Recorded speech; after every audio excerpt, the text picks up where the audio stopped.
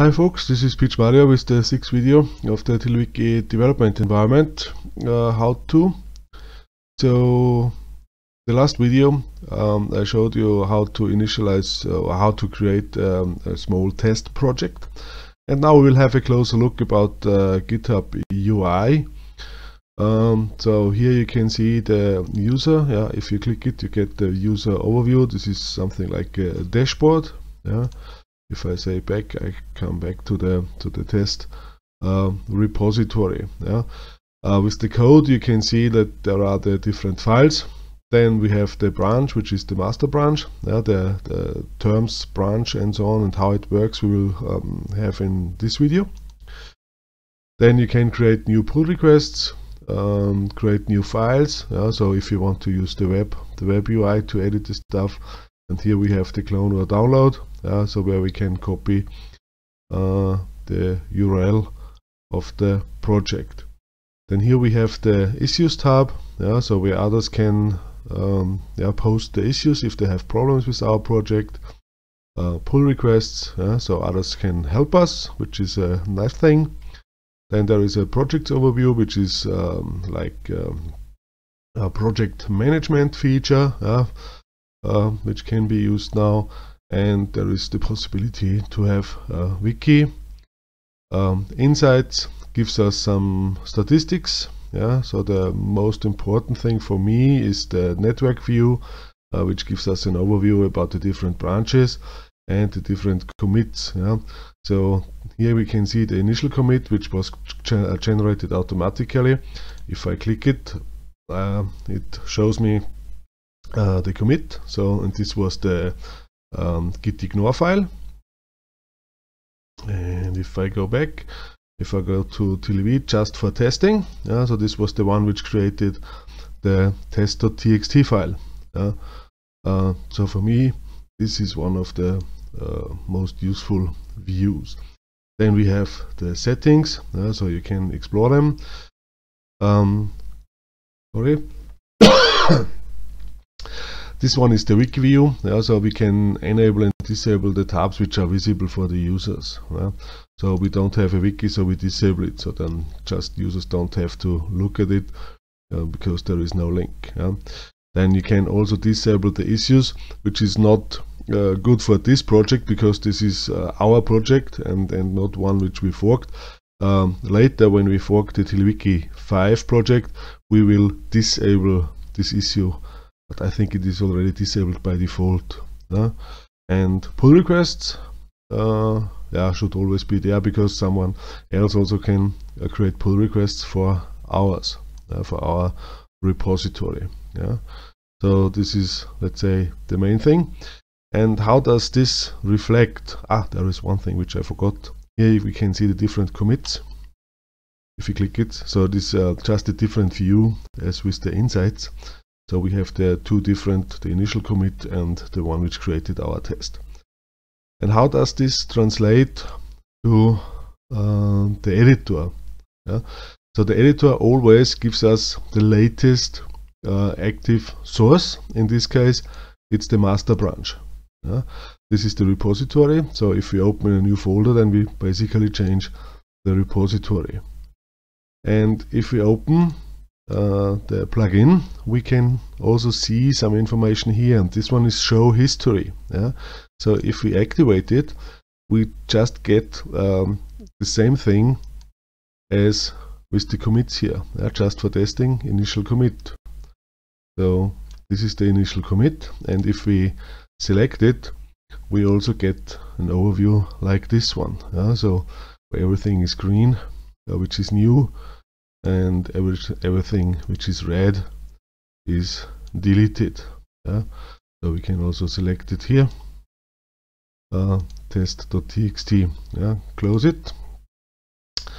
Uh, so if we make some changes so if I delete this line just copy this line over we will see that here there is a small dot uh, which just shows us that we, we have changed uh, the file if we remove the history, nothing happens, but if we say save, uh, Control S, we will see that this is new and there is something which is deleted.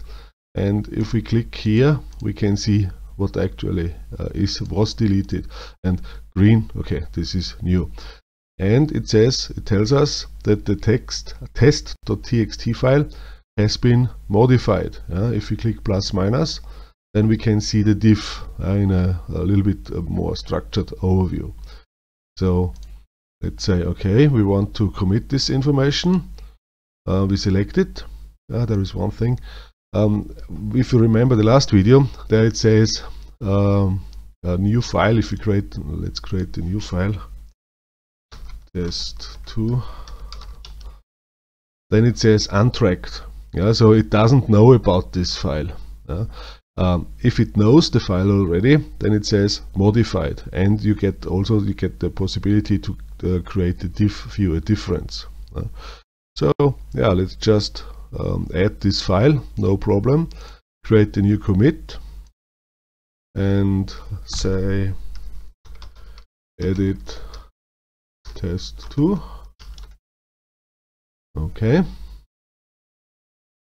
Then we can see that we have possibility to put to push it to push the changes. We push the changes and say everything okay. Now the automatic credential manager kicks in and directly pushes the stuff. Okay. Now let's update the test view. And now we have both uh, files which are part of the uh, project now and what you can see here is always the latest uh, commit message which is added uh, and then you see also the um, let's say the time when it was uh, updated when the last update has occurred what else can we see? We see that there are three commits now. So get the overview like this. And here we also have the overview like this. Okay, what we did here is a little bit, let's say, of bad practice because we directly pushed to master. Uh, in normal cases, if new uh, elements or new features are implemented, we want to create a new branch yeah so uh, let's say add new test files so there should be uh, yeah, some useful information so that you can remember it um, because in normal cases uh, you may have I don't know 10 15 different branches active at the same time uh, so it's really important uh, that you give them uh, good names because otherwise you don't remember uh, what you tried to do um, and then you have to delete them just because you don't know what's going on there yeah? so uh, now we created a new branch and let's create a new file. Test uh, let's say json. Um, then the editor already recognized this uh, that this is a, a javascript file and some comment variable a is gleich 10 I don't know. Um, just a few lines then save yeah there we get um, an editor because of the sorry uh, there is the linter is active yeah it says the variable a is assigned but never used yeah but okay so this is just for testing. Um, now what happens if I go here? Um, this is an untracked file. If I say commit uh, a new file, so now it's part uh, now Git knows about uh, the file and we can uh, switch back and forth between the branches. Yeah? So if I go to master now um, I only have the uh, test and test2 and if I switch to my new file it automatically checks out uh, the test.js file yeah? and this is important in normal cases we create new branches for new features and uh, new branches should contain let's say the minimum minimal content uh, that we changed yeah so because if we create the pull request afterwards then it's easier uh, for the maintainer to review the stuff. Uh, so now we have a new branch and we push the branch um, to a new branch uh, on the remote repository. Uh, so I say, okay, I want to push it. Everything worked. And now let's have a look at test. So it tells us um, that there is a new branch. Yeah, so here are the branches. There is the master branch and the add new test files branch. And it tells us that uh, this uh, new branch is one commit ahead of master. So, oops, sorry. Um, let's say if a ist gleich 11 Ups, ist gleich, ist gleich.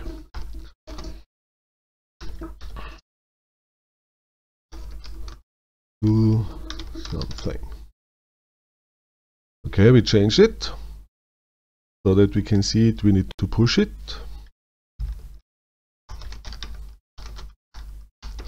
This is important. You always should really add some comments because it makes, uh, let's say, the review process uh, much, much easier. Yeah. So, okay, now push it again.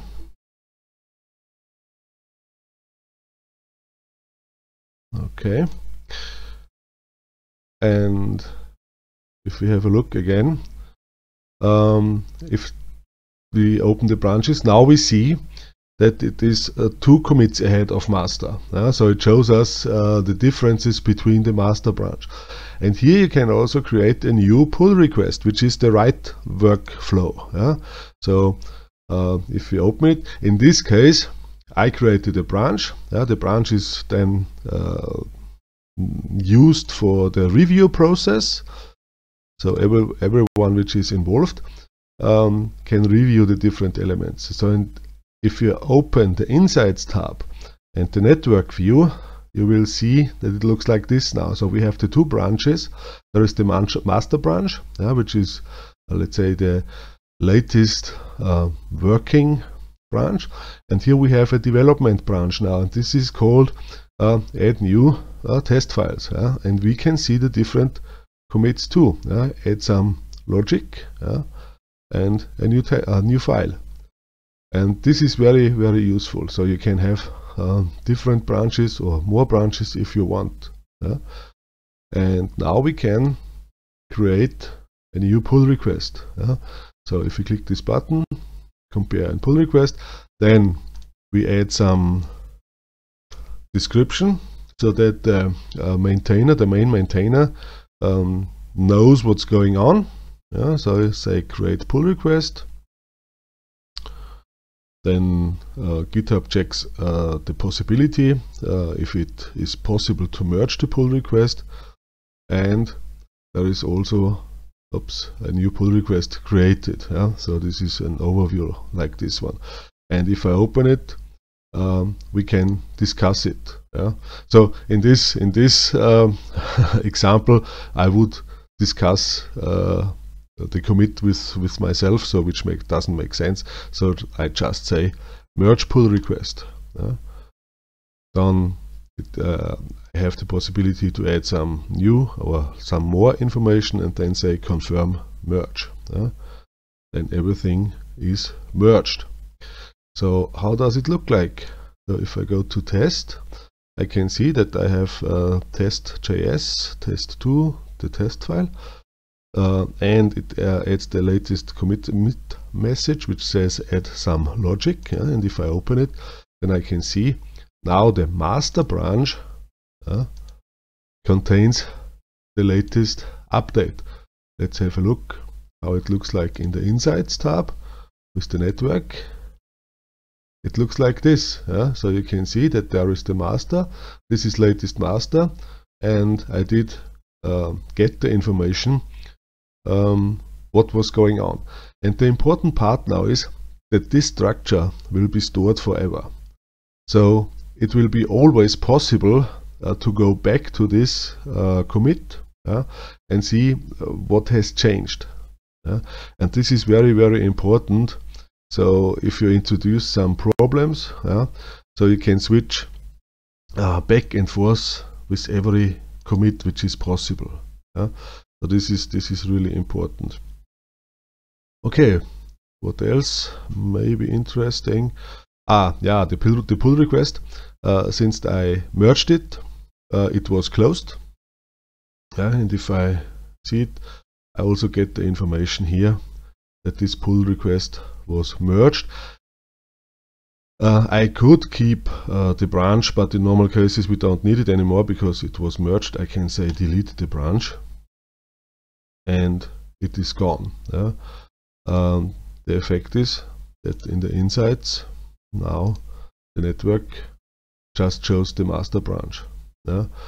So the names of the branches can only be seen if the branches really exist. Uh, in normal cases this is for branches which are uh, active at the moment, they exist and if something is merged it should be deleted.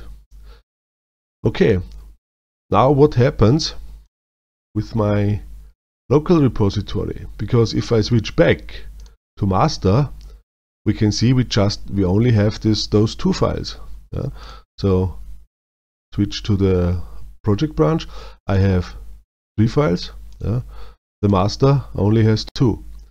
So that's why I need to git pull the changes. And this is really important before you start a new feature branch. Uh, if I say create a new branch, always, first always pull uh, the active master. Uh, in this in this case, it's called origin master. Say okay.